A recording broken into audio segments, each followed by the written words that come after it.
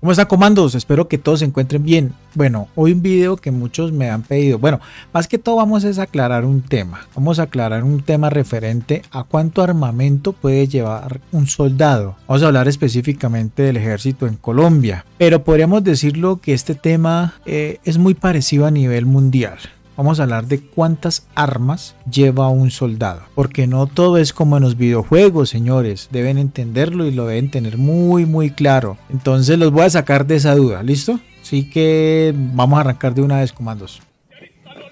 Los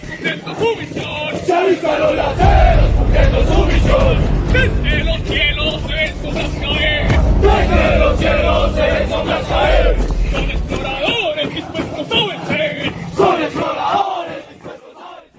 Bueno, señores, hay que tener presente que nosotros somos seres humanos. ¿Sí? Y que nuestro cuerpo soporta cierta cantidad de peso. No podemos eh, cargar más de nuestro peso, por decirlo normal, porque pues nos puede afectar nuestra columna, nuestra rodilla, nuestros brazos, nuestros hombros, en fin. Entonces, eh, lógicamente, un soldado como tal no puede cargar mucho armamento. No es como en los videojuegos, muchachos. En los videojuegos usted carga pistola, revólver, fusil, ametralladora, arco, en fin, chaleco, muchas cosas, ¿no? En la vida real no funciona así. ¿Por qué? Porque nuestra limitante es nuestro cuerpo, nuestro físico, es lo que nos limita a no cargar tantas cosas. Particularmente en el Ejército Colombia, en mi experiencia, yo, yo, yo, siempre, yo, yo, siempre cargué fue un fusil, un fusil. El promedio del fusil está entre 3 kilos a 5 kilos, dependiendo del modelo, la marca. Listo, estamos hablando solo del fusil. Hay unos que pesan de entre 3 kilos y medio, 4 o 5 kilos.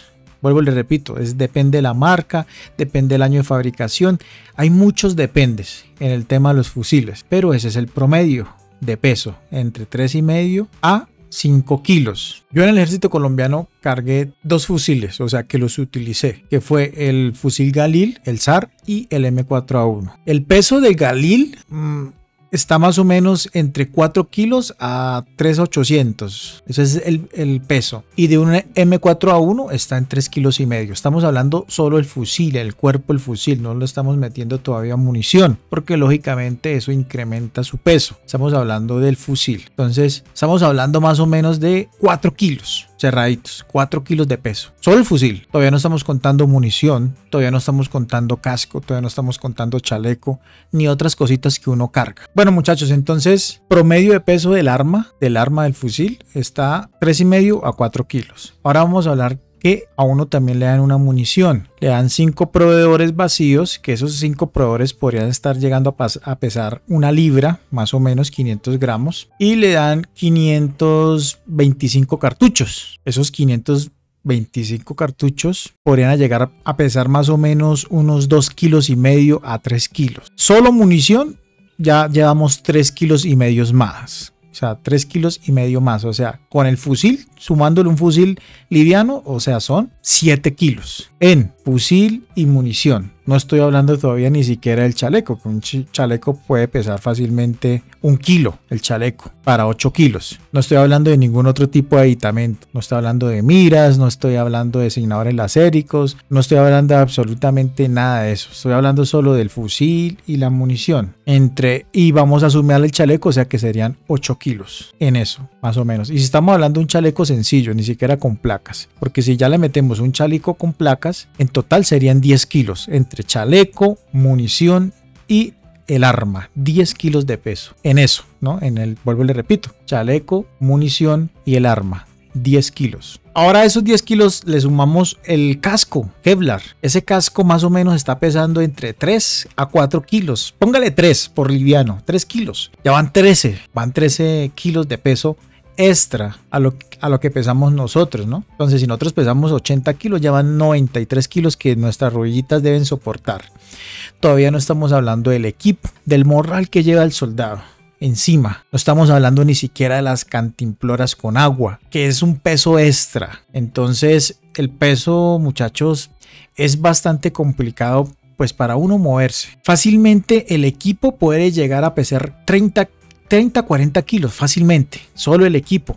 ¿Por qué? Porque dentro del equipo van muchas cositas, ¿no? Nuestros camuflados, nuestras camisetas, nuestros útiles de aseo, eh, cantimplora con agua aparte. Bueno, en fin, cositas que usted quiera llevar sin contar la alimentación. Ya la alimentación, póngale unos 20 kilos porque usted lo pueden cargar desde azúcar, sal, harinas, aceite, mmm, arroz, cosas así. Puede llegar uno fácilmente a cargar 20 kilos. Por eso les digo que fácilmente un equipo puede llegar a pasar, eh, pesar entre unos 40, 30 kilos más. Pongámosle 30, pongámosle, cerrémosle en 30, que no vamos pesados. 30 kilos no es pesado para uno. Más 13 de armamento, van 43 kilos de peso. No estamos contando todavía el agua, metámosle una cantimplora de un litro de agua, ¿sí? Que puede llegar a, fácilmente a pesar un kilo, asadito, un kilo y medio, porque tiene el arnés eh, para cargarla. Entonces ya estamos hablando de unos 44, hemos dicho, cerrémoslo, estamos madres, 45 kilos de peso, incluyendo todo. Armamento,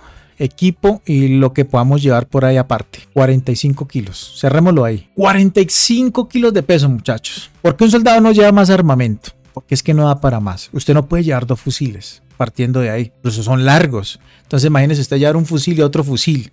No se puede. Lo máximo que llevaría es una pistola. Y esa pistola la lleva usted en una piernera. ¿Sí? Y eso no lo llevan todos los soldados. Básicamente el que lleva la pistola muchas veces es el comandante o el soldado del Remington o el TAP o el tirador de alta precisión, el francotirador, ¿sí? Porque eh, la pistola le da un poder de una cadencia de fuego mayor que un rifle de precisión. También hablamos de las armas de acompañamiento. No estoy metiendo una ametralladora. El ametrallador lleva la ametralladora, ni siquiera carga la munición. Por ahí cargará una cinta. Porque hay otro soldado que carga la munición del ametrallador. ¿Sí? Porque pesa más, son calibre 7.62. O sea, es un peso mucho más fuerte. Una ametralladora fácilmente puede estar llegando a pesar entre 8 a 10 kilos. Por eso ese soldado no lleva fusil y solo lleva una, una canana o dos cananas, podríamos decirlo. La canana es la cinta de 100 cartuchos para la ametralladora. Porque ese soldado debe llevar también equipo debe llevar sus cosas, debe llevar comida incluso algunas veces. Entonces, vuelvo les digo muchachos, por eso el soldado solo lleva un arma, un fusil. No es como en los videojuegos que usted ve que le meten de todo. No, así no funciona en la vida real. El soldado que puede llevar fusil es el soldado que lleva el MGL, que es el lanzagranadas de 40 milímetros. Puede llevar fusil. Algunas veces eh, vi que llevan fusil vuelvo y le repito, puede llevar fusil. Entonces lleva su, su, su, lanzagranadas que es corto, realmente es corto. Ese lanzagranadas puede llegar a pesar más o menos eh, unos 4 kilos sin munición, vuelvo y le digo porque las granadas de, de 40 son más grandes. Llevar sus 8 granadas, una carga, él lleva una carga. Y hay otro soldado que puede llevar o ayudarle a llevar eh, dos cargas más. Entonces, comandos. El tema es bastante fuerte el tema del peso restringe mucho llevar un armamento. Uno lleva lo que es, lo que le da. Un fusil, sus 525 cartuchos, 5 proveedores y pare de contar. De ahí para allá uno no se pone a llevar más maricadas porque uno va muy pesado. Uno lleva lo que es. Y cuando uno está allá en la fila, es cuando uno sabe, hermano, qué es lo que uno puede llevar y hasta dónde le da las piernas para llevar. Porque no todos tenemos el mismo estado físico. Sí, no todos. Porque siempre buscan gente grande para llevar a la ametralladora. Porque lógicamente uno dice: si este man es grande, tiene fuerza, puede llevar un arma mucho más pesada que ir a ponérselo a un pelado pequeño, ¿sí? A los Petri que llama uno en el ejército, los pequeñitos, ¿no? Va a montarle usted una ametralladora, pues ese man se despenca en el camino. Y aún más cuando nuestro ejército, nuestros soldados se la pasan en el área de operaciones, en el monte, sube y baja. Sube. Aquí no es plano, aquí le toca uno es caminar y duro. Entonces, el tema del peso, muchachos, eh, interfiere mucho en no llevar uno tanto armamento. Por eso uno simplemente lleva su fusil, su munición y pare de contar. Es importante que tengan este conocimiento, que sepan esto, porque vuelvo le repito, muchos de ustedes me preguntan, Mikao, ¿es verdad que yo puedo llevar no sé qué, un armamento? No, no, no, no. Aquí hay unas armas estándar, unos fusiles estándar, y a usted le dan ese fusil y ya, usted aquí no va a llevar ningún otro tipo de fusil. Usted no va a llevar miras telescópicas, no va a llevar diseñadores lacéricos, eh, no va a llevar ningún otro aditamento que no sea permitido para usted. Lógicamente que hay unas unidades en el ejército que sí le permiten llevar ciertos aditamentos, pero eso se los entrega la misma institución, eso no los compra usted, le dan su mira, sus cositas, bueno, en fin, ese es otro, otro tema. Eh, pero en las unidades regulares es lo que hay, fusil, munición y pare de contar, no hay más nada.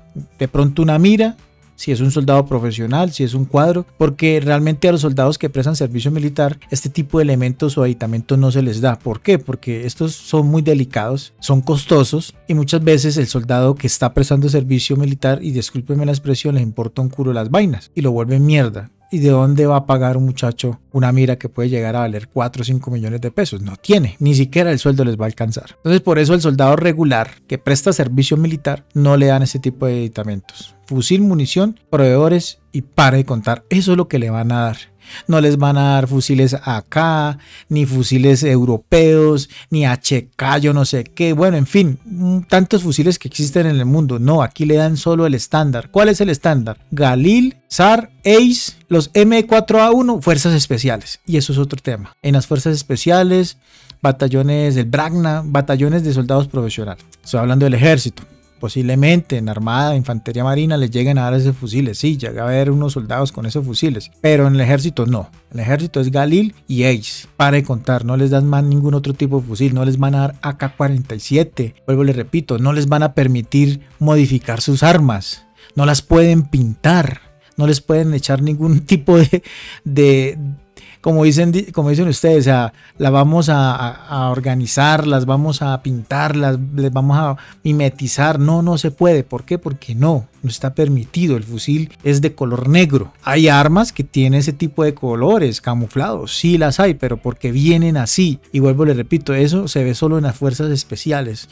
En las unidades regulares no se ve ese tipo de fusiles. Si usted lo hace, que no le no sería prohibido en cierto caso, usted debe responder cuando entregue ese fusil que ese fusil fusil está empavonado como se lo entregaron. O sea que si usted se lo entregaron de color negro y usted lo quiere pintar, listo, con spray. Yo ya en Amóvil 5 llegué a ver soldados que lo hacían. Spray verde, bueno, en fin, eso lo pintaban. Pero cuando iban a entregar armamento, tenían que entregarlo como era, negro. ¿sí? Eso se llama empavonado. Eso es una pintura especial para ese tipo de, de metal. Y como no lo entregaban como se lo habían entregado, pues simplemente se lo descontaban del sueldo para que fueran serios. No sé si habrá cambiado esa situación hoy en día, pero eso pasaba cuando estaba activo. El soldado, inclusive, habían soldados que le brillaban la trompetilla, esa con una lija, que eran brillantes, pero a ellos les cobraban esa, pintura. A mi dragoniante ya cuando le decían, venga mi amigo, fírmeme acá su descuento por no cuidar los elementos, por no cuidar el fusil. Bueno, señores, entonces, para ya no extender tanto este video, para no seguir hablando tanta mierda, lo principal, lo que decíamos, por eso es que soldado solo carga un fusil y su munición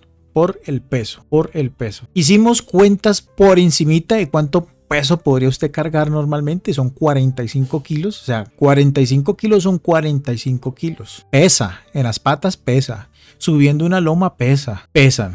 Bastante.